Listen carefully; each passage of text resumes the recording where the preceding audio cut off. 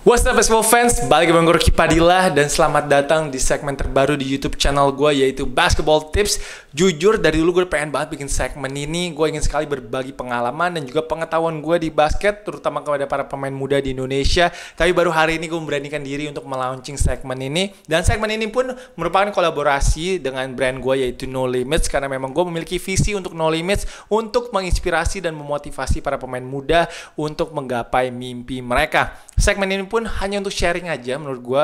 Gue bukanlah orang yang paling tahu ataupun paling ngerti basket karena gue tiap harinya pun masih belajar tentang hal-hal baru di basket. Tapi yang pasti gue ingin berbagi pengalaman gue saat dulu gue latihan di Amerika, di Filipina ataupun saat gue datang ke liputan gue pun melakukan observasi tentang pertanyaan-pertanyaan tersebut dan itu yang gue ingin share kepada kalian semua. Dan kemarin saat ide ini muncul, gue buka question box di Instagram dan banyak sekali hal-hal ataupun uh, topik-topik uh, yang ingin dibahas oleh para pemain muda. Tapi satu hal yang ingin dibahas oleh mereka yang paling menarik perhatian gue adalah tentang mental toughness. Karena menurut gue mental toughness ini adalah bagian yang sangat penting sekali di basket. Menurut gue basket itu terbagi oleh dua uh, elemen. Yang pertama adalah mental toughness. Yang menurut gue 75% dari pertandingan basket itu butuh mental toughness. Dan 25%-nya itu adalah skillsnya para pemain tersebut. Gue yakin kalian pasti kenal banyak orang dan banyak pemain di mana mereka saat latihan itu jago banget tapi pas lagi tanding nggak bisa perform sama sekali karena mungkin mereka tegang ataupun mereka mentalnya nggak kuat dan itu pun gue uh, gua alami saat gue bermain basket dulu. Jadi gue cerita dulu tentang cerita gue saat gue masih SMA. Gue baru bisa masuk varsity tim sekolah gue itu saat senior year. Dan saat senior year itu ada satu pemain di tim gue namanya Sean Cunningham. Dia pemain yang paling jago di sekolah gue dan dia akhirnya direkrut oleh uh, UC Riverside dan akhirnya bermain profesional di Jerman. Tapi gue nggak tahu divisi berapa. Jadi saat gue try out itu gue bermain bagus banget karena mungkin saat itu juga no pressure dan gue tahu kemampuan gue di atas beberapa pemain lainnya. Sehingga waktu itu pelatih gue pun udah kayak punya visi gue akan diduetkan dengan si Sean Cunningham ini merupakan duo dari untuk sekolah gue karena gue saat itu bermain uh, passing-passing gue bagus dan gue nembaknya juga lumayan oke. Okay. uh, jadi waktu tryout pelatih gue udah ngomong sama gue kalau gue akan menjadi starting five di sekolah gue itu saat tryout dan saat latihan di mana gue perform bagus banget. Tapi saat pertandingan pertandingan pertama gue inget banget preseason game itu mainnya di sekolah gue di Daniel Murphy di home court gue di mana gue udah hafal banget ringnya. Itu dua tembakan pertama gue air ball. Dan di pertandingan pertama itu gue turnover sekitar tiga kali dan akhirnya gue hanya bermain di pertandingan tersebut hanya 10 menit. Malah backup point guard gue dia mainnya jauh lebih bagus daripada gue dan di situ pun pelatih gue sempet narik ke gue uh, narik gue bilang apa sih yang kejadian sama lu? Lu kalau lagi latihan bagus banget tapi pas lagi tanding kenapa kayak gini? Uh, turnover, nembak airball dua kali. Uh, itu jadi gue jadi sedih juga tapi gue tahu karena itu mental bertanding gue jelek banget dan tiga pertanyaan setelah itu kita punya turnamen pertama kali kita ikut turnamen itu langsung turnamen yang besar yaitu Westchester High School Tournament. Di mana uh, kita berhadapan dengan tuan rumah Westchester yang pada tahun gue itu merupakan salah satu high school terbaik di California. Dia punya Amir Johnson yang menjadi pemain NBA dan satu lagi ada pemain namanya Marcus Johnson. Gue nggak tahu dia bermain di mana profesional tapi kalau nggak salah dia tuh diambil oleh University of Connecticut salah satu uh, sekolah atau kampus divisi satu juga di NCAA dan sangat terkenal. Jadi di situ gue cuma bisa kepikiran pas naik bus hanya bisa kepikiran wah gila. Lawan gue sekolah top banget. Gue takut banget. Gue yakin gue bawa bola gue akan kena turnover. Jadi gue hanya bisa pikir gue akan turnover berapa kali dan akan nembak airball berapa kali dan akan di blok berapa kali. Dan kejadian bener gue turnover sekitar 6 atau 7 kali dan gue didang dulu sama Amir Johnson. Jadi um, ini merupakan pengalaman basket gue yang mungkin salah satu yang paling buruk lah di mana gue nggak bisa uh, membetulkan mental gue saat itu. Tapi se- waktu naik ke kuliah uh, atau saat gue try out di community college gue itu Santa Monica, mental toughness gue lebih mending lah. Gue karena lebih nating tulus. Gue merasa ya udahlah gue main basket gue nikmatin aja. Lebih kayak gitu akhirnya gue bisa perform lebih bagus. Di mana waktu gue Santa Monica College gue ikut try out itu banyak sekali pemain-pemain Jepang yang jago-jago uh, dan juga pemain Amerikanya uh, sekitar 80 orang try out dan gue cukup bangga gue bisa stay sampai hari ketiga. Itu merupakan 5 days try out. Uh, gue bisa stay sampai hari ketiga di mana itu sisa sekitar 30 pemain. Jadi gue sangat bangga banget dan situ confident level gue mulai naik dan gue mulai mikir gue bisa nih skills gue ada skills karena gue bisa stay segitu lama dan akhirnya gue latihan di Impact Basketball selama setahun dan gue mendapatkan kesempatan dua kali uh, untuk mendapatkan beasiswa di Filipina di mana pertama kali gue melawan Talk and Text itu gue dijaga sama Mark Cardona dan juga Jay Washington. Dan juga sempat kalau halal main lawan Jimmy Alapak juga. Uh, itu benar-benar tegang banget karena gue diliatin sama banyak scout juga. Tapi untungnya di situ gue berhasil mencetak 4 poin uh, which is not bad. Dan uh, gue mendapatkan rekomendasi dari pelatihnya uh, asisten uh, manajer kalau waktu itu yaitu coach Frankie Lim. Dan nggak sengaja tiga bulan kemudian gue ketemu coach Frankie Lim, Frankie Lim lagi yang merupakan coachnya San Beda. Dan situ gue melawan San Beda. Dan saat melawan San Beda pun di Impact gue bermain bagus lagi. Sehingga coach Frankie Lim bilang kayak lo harus ke Filipina deh bermain di NCAA karena waktu itu NCAA um, ada beberapa pemain import tapi lebih banyak uh, belum gitu. Jadi masih kesempatannya masih besar. Sehingga gue akhirnya memilih beberapa sekolah tapi gue akhirnya jatuhkan kepada perpetual help karena di situ ada Darian Febrian yang bermain di NSH dan juga ada Toib. Sehingga adaptasi gue nggak akan terlalu susah karena udah ada orang Indonesia di sana mereka bisa bantu gue uh, transisi. Jadi gue akhirnya pindah ke sana dan di sana pun gue main basket seneng banget karena gue benar-benar no pressure. Gue hanya menikmati saja uh, gue mikir ini basketball ini nggak gue main basket nggak akan mati. Gue hanya harus menikmati basket aja dan akhirnya gue bisa perform. Walaupun gue hanya uh, bertahan tiga bulan di Filipina, tapi gue sempat bertanding di Fathers Martin Cup. Uh, itu uh, cup untuk tim B-nya, tim NCAA di Filipina itu seru banget di San Beda juga mainnya. Uh, mendapatkan pengalaman banyak. Uh, menit gue uh, di situ 30 menit ke atas hampir setiap game.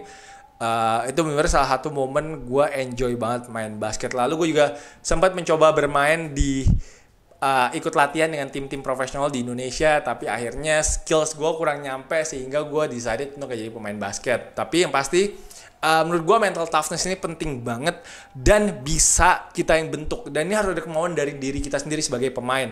Nggak bisa dilatih menurut gue mental toughness itu. Karena sangat susah untuk dilatih kalau nggak ada kemauan dari pemain tersebut. Dulu waktu gue di Filipina kita tuh selalu latihan jam 5 pagi. Nggak boleh telat. Jadi gue bangun setiap hari jam 4 pagi. Itu udah harus mentally strong. Lo harus bangun jam 4 pagi untuk sarapan.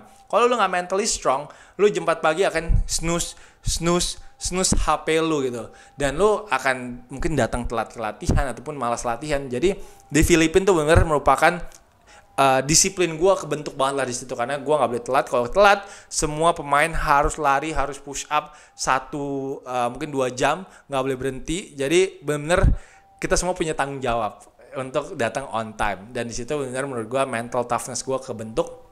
Selain itu pun pelatih gue juga latihannya menurut gue lumayan cerdik di mana uh, kita pernah satu kali itu harus lari keliling uh, lapangan tuh sebanyak 30 kali. Nah, tapi sebanyak 30 kali itu harus dicapai dalam waktu sekitar uh, kalau nggak salah 10 menit. Nah, kalau kita 10 menit nggak bisa dapat 30 lap di lapangan, itu semua harus lari ulang lagi. Dan ini kenapa gue bilang mental toughness-nya bagus banget dengan uh, cara latihan ini. Karena eh, kadang-kadang kita kalau udah di lap ke-20 atau ke-21 mungkin udah capek. Karena menurut gue itu harus agak cepet jalannya larinya. Kalau alas 10 menit ya. Gue lupa 8 atau 10 menit gitu. Jadi uh, ada yang nyampe nya pas-pasan tapi yang pasti mereka tetap push push push push untuk nyampe. Jadi di otak kita tuh cuma ada kita harus push kita harus bisa harus bisa nggak boleh nyerah nggak boleh nyerah. Itu yang membuat juga mental toughness gue bertambah sih. Jadi pengalaman gue di Filipina merupakan pengalaman terbaik gue untuk membentuk mental toughness dan gue lebih cuek untuk pemain basket. Dan ini gue ingin sampaikan kepada pemain basket juga di Indonesia. Uh, karena menurut gue mentalnya pemain muda di Indonesia bisa dibentuk lagi, bisa lebih bagus lagi. Kok saat ini yang gue boleh bilang mentalnya bagus, jujur adalah Yuda Saputra, Firdan, uh, Yesaya, Arigi. Itu mungkin pemain-pemain yang gue bisa on top of my head, gue mikir itu bagus uh, Derek Michael karena juga udah mulai kebentuk mentalnya. Uh, Patrick dari UPH uh, banyak pemain yang gue gak sebutin. Mungkin yang hanyalah pemain-pemain yang gue sering banget lihat. Tapi gue yakin banyak pemain lainnya juga mentalnya bagus. Tapi yang pasti gue pengen pemain Indonesia juga lebih disiplin sih.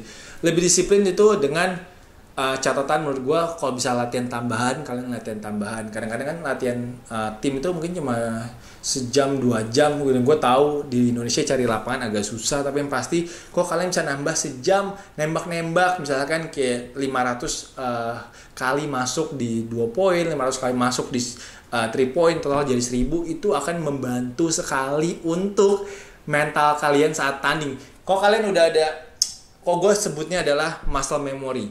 Nah, kok kalian udah nembak ada muscle memorinya, kalian udah tahu kapan itu bola akan masuk, kapan nggak akan masuk. Jadi di, di pertandingan kalian akan lebih percaya diri lagi saat uh, mendapatkan ruang tembak. Lalu uh, konsentrasi kepada pertandingan. Gue lihat di Indonesia tuh banyak sekali uh, pemain-pemain yang ke distract dengan hal-hal uh, apa ya, hal-hal yang menurut gue memang part of the game gitu. Misalkan dari wasit dari lapangan dari ring dari bola dari lapangan panas gitu. Nah ini yang ada hal yang gue ingin bahas. Kalau lu di misalkan di Amerika saat lo high school atau lo di Filipina saat lo kuliah lo ngomel sama wasit pelatih lo akan ngomel sama lo, lo mereka akan bilang lo nggak usah ngomel-ngomel sama wasit. Wasit adalah urusan pelatih. Karena pelatih itu pengen banget pemain itu konsen di lapangan menjalankan strategi offense, defense dan juga uh, pengen hustle gitu. Nggak usah mikirin kayak wah wasitnya ini agak berat sebelah. Wasitnya kenapa kasih kita bad call? Itu emang pasti secara apa ya, psikologi pemain akan mikir seperti itu. Tapi yang pasti kalau kalian bisa fokus ke pertandingan kalian akan punya advantage sendiri daripada lawan kalian. Kalau lawan kalian misalkan ah, bisa aja lawan kalian yang pusing gitu. Wah wasitnya kayak gini lapangannya jelek gitu. Tapi kalau kalian tetap bisa punya pikiran kayak oh ya udah lapangannya emang begini nih gue adaptasi aja. Kalau lapangannya licin gue mungkin harus gerakannya seperti ini.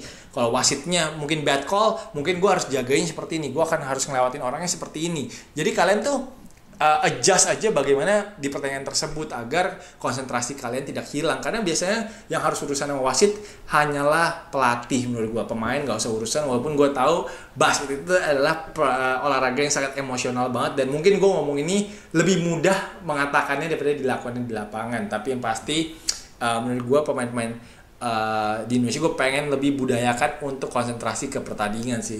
Selain itu tips gue adalah kalau kalian ingin punya mental yang lebih tough lagi, itu biasakan kalian latihan yang uh, maksimal ataupun yang sulit. Kalian tuh kayak melawan comfort zone-nya kalian sendiri. Misalkan kalian defensive stand ataupun plank. Mungkin plank cuma kuat semenit setengah. Mungkin next time kalian bisa naikin ke 1 menit 45 detik ataupun 2 menit jadi saat kalian udah nggak kuat, kalian hanya dalam otak kalian bilang, gue harus lawan, gue harus lawan, gue harus bisa, gue harus bisa.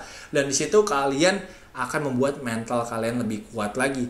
Dan juga misalkan kalian, yang paling simple adalah uh, eh, gue bisa bilang misalkan kalian lebih disiplin saat di rumah juga. Saat di rumah kalian mungkin udah bangun pagi langsung beresin kasur ataupun uh, merapikan kamar kalian. Itu pun kadang-kadang kalian nggak mau melakukan kan? Tapi kalau kalian ingin lebih disiplin dalam hidup kalian pasti kalian ingin lihat kamar kalian uh, rapi dan bersih. Dan itu bisa kalian lihat dan kalian bisa mulai dan itu bisa menjadi habit yang bagus. Dan juga uh, saat bertanding uh, tips yang gue bisa kasih uh, biar nggak nggak nggak tegang di pertandingan itu sebenarnya normal kok tegang. Semua pemain NBA pun pasti sebelum pertandingan suka tegang kok. It's normal tapi yang pasti kalian bisa dengerin musik biar kalian bisa lebih relax ataupun mungkin ngobrol dengan orang yang kalian sayangi sebelum pertandingan untuk mendapatkan sedikit confidence boost. Dan juga yang pasti you have to have the confidence you have to apa ya you got you need a swag swag and confidence itu yang kalian sangat perlukan di lapangan bila kalian ingin jadi pemain yang baik.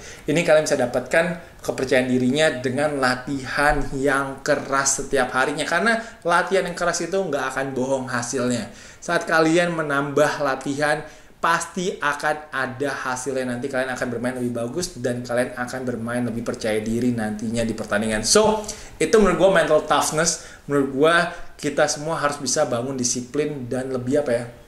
Dan lebih uh, percaya diri di lapangan sih. Itu menurut gue untuk mental toughness. Kalau ada kurang-kurang maaf banget gue hanya ingin share tentang ini aja. Dan gue harapkan ini video sangat bermanfaat untuk pemain-pemain yang ingin memperbaiki mental toughnessnya mereka. Karena menurut gue mental toughness ini sangat penting banget di basket.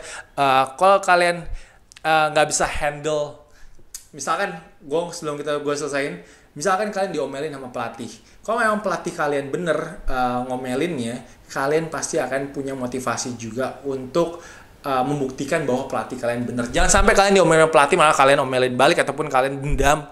Itu akan menjadi hal yang sangat buruk banget. Masukan dari pelatih diterima dan kita perbaiki di lapangan. Jangan sampai kalian malah marah dan petty banget dan akhirnya kalian tidak bisa dikonsen pertandingan, malah mainnya jadi jelek. Uh, pelatih memang nggak semuanya gue bilang adalah pelatih uh, apa ya? Belum tentu pelatih itu bener ngasih masukan yang menurut gue kadang-kadang pasti pelatih ada salahnya juga tapi yang pasti take the good take the bad as good aja lah.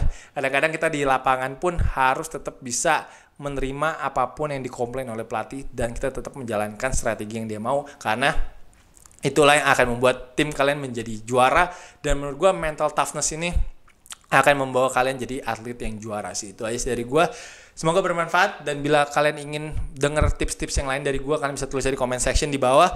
Thank you banget yang udah nonton segmen ini. Jangan lupa untuk like, jangan lupa untuk comment, and jangan lupa untuk subscribe. Thank you guys for watching. I'll see you guys next video. Peace.